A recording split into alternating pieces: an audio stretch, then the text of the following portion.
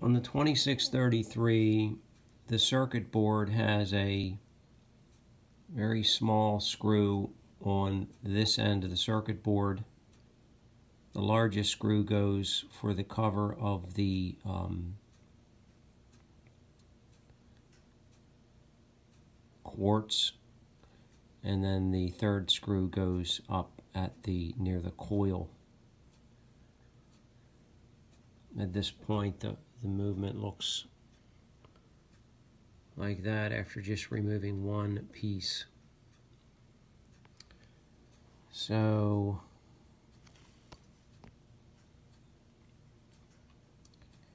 this is the circuit board that converts the 32,000 plus vibrations of the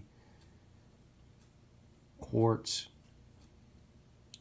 uh, and brings it down to one second, divides it, and that's how uh, quartz movement clicks. The second hand is a hard click, one second at a time.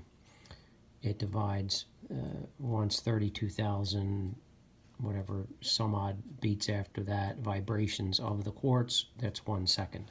That's why they're so accurate. As opposed to a uh, mechanical movement which beats anywhere from 5 to 8 beats per second.